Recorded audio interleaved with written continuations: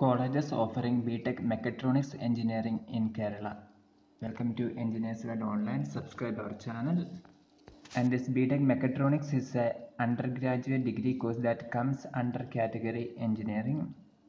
Duration of this course is four years. Colleges offering are Cochin College of Engineering and Technology, Valanchery, Malappuram, Jyothi Engineering College, Cheruthuruthy, Malabar College of Engineering and Technology, Vadakkancheri, Nehru College of Engineering and Research Center, Thiruvilwamala. So these are the self-financing engineering colleges in Kerala offering BTech Mechatronics.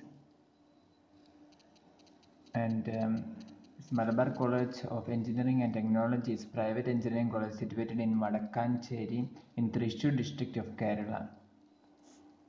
This college offers BTech in Mechatronics Engineering and the college website mentions specializations in robotics, artificial intelligence, etc.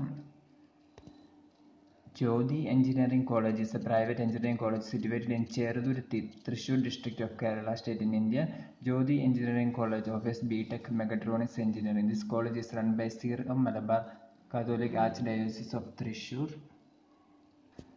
Another one, Nehru College of Engineering and Research Center is a private engineering college situated in Thiruvilwamala, Thrissur district of Kerala. This college also offers BTech in Mechatronics Engineering.